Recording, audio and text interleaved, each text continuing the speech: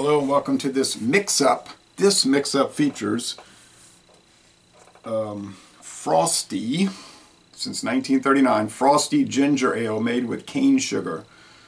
This quart bottle was $1.25 at Winn-Dixie, a grocery chain which is owned by Aldi. Uh, 90 calories per serving and the serving is 8 ounces so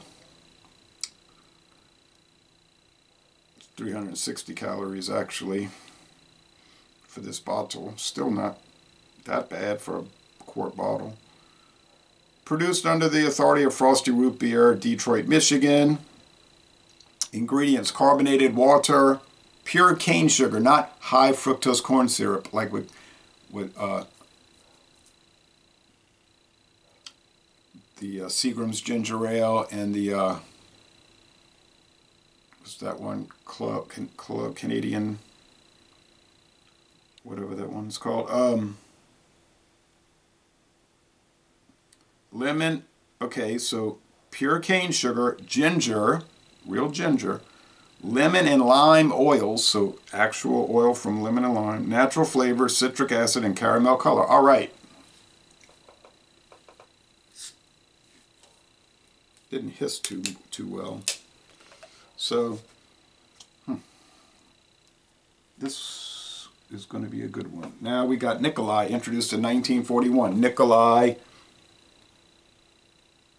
this is the green label, premium vodka with premium liqueur, interest introduced by the Seagram's, Joseph Seagram's company.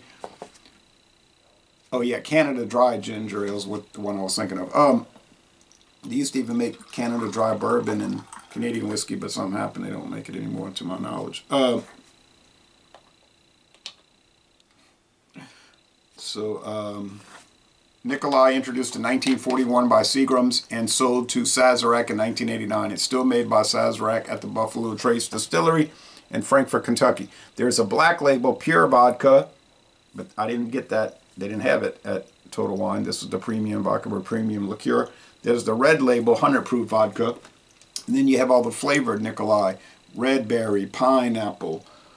Um, I think there's a whipped cream flavor and so forth. As similar to Taaka. Taaka has all the flavors. They probably mirror each other, probably the same. Whatever flavor Taaka has, they probably got a Nikolai uh, version. All right, version. So I poured the um,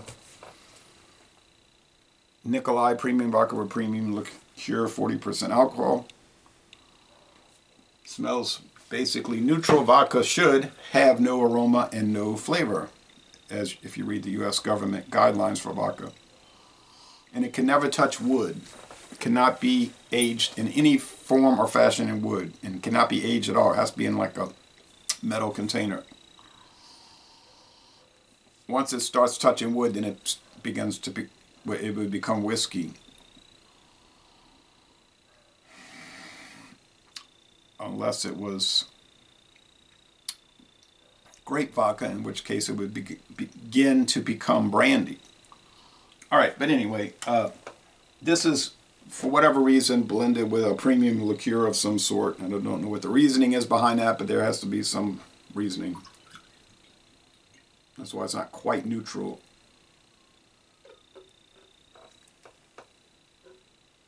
Oh, it's close. Okay, so it's got a yellowish appearance from the ginger ale, as you could imagine.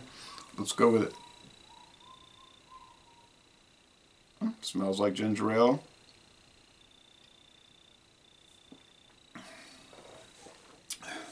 Is this a good mix-up? Yes.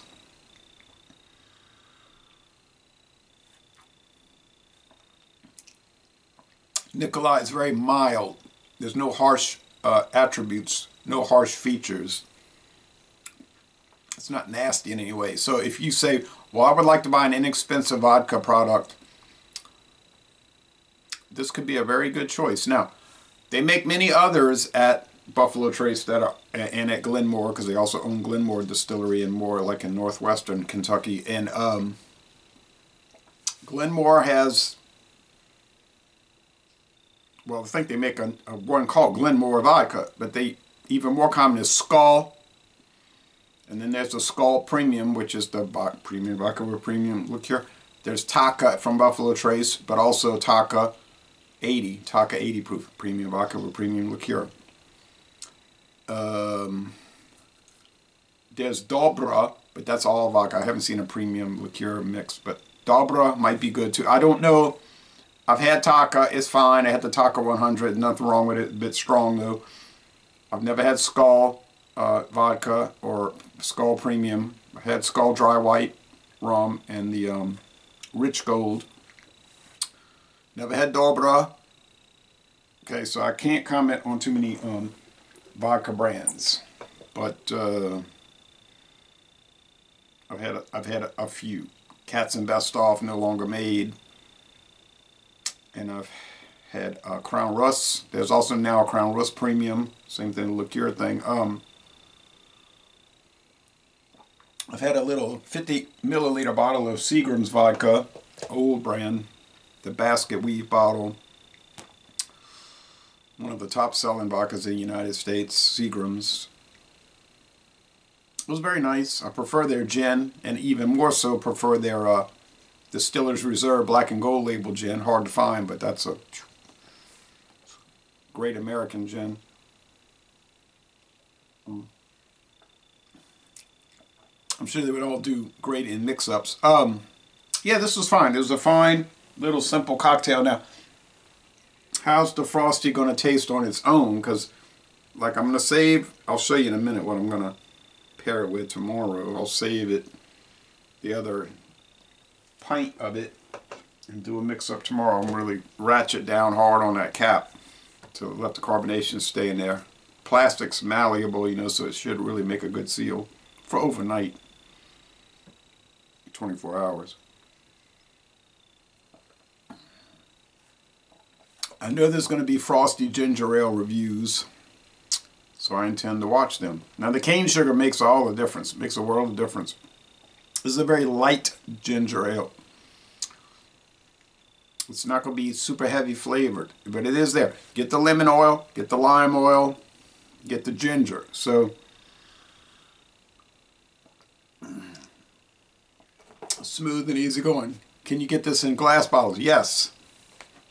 Uh, but they're only 11.2 ounces, so the plastics are, uh, and the price per ounce about the same, so it just depends what stores you're finding it out. I don't know why Winn-Dixie decided to carry these singles, but I'm going to take advantage. Oh, that that's it. So if you got, if you insist on drinking a soft drink, and I never insist on it, I never even do it, aside from mix-ups, get the pure sugar ones. Uh, I'm finding more and more,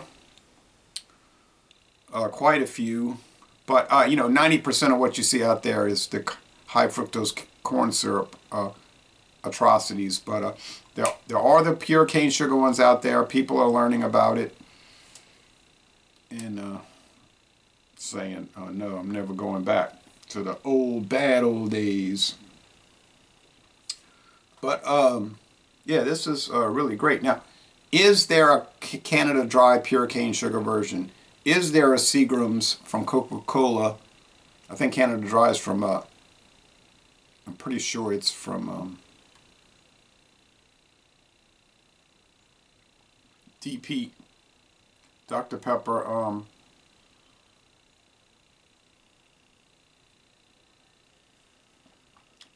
so, uh, uh, yeah.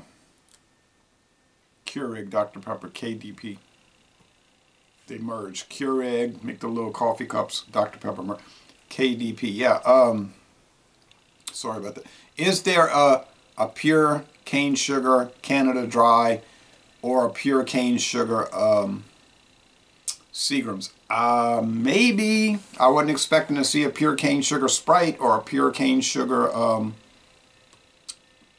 Fanta Orange, but I found them. So yeah, winter. This is very light, like I said, a very light ginger ale on its own merits. It's a little bland, but it, uh, it's very nice and nothing off-putting. So I'll go with a B plus, 88 out of 100 on that, 88, 88 out of 100. Nikolai probably be about the same score. Very good uh, premium vodka or premium liqueur.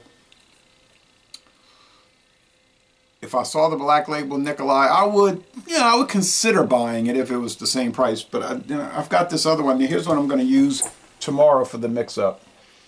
Vodovska, triple distilled and 10 times filtered imported sugarcane vodka.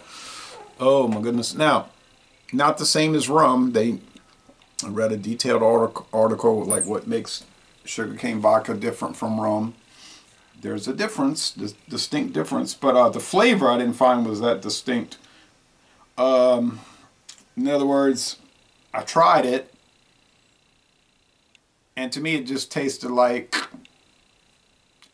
white, silver, clear rum, whatever terminology you want to use. It tasted like a very nice, enjoyable uh, silver rum, but it isn't rum. It's vodka. So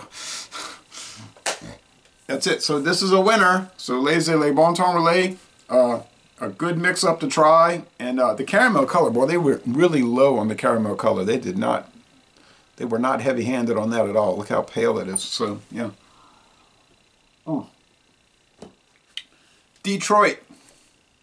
Keep it going with Frostie because we want more. I've had the root beer. I've had what the cream cream soda a few others and they're all winners all winners. Just goes to show you it can be done and you can still sell a quart for a dollar twenty-five shipped all the way from Detroit at the top of the United States down to here in the bottom of the United States and uh, and it's it's less expensive than the high fructose corn syrup ones. It can be done, but you just gotta not, you know, just don't let yourself get hosed by these mac macro major companies that's gonna hustle you with the cheapo stuff. So thanks, and uh, be back tomorrow with the next one. All right, bye bye.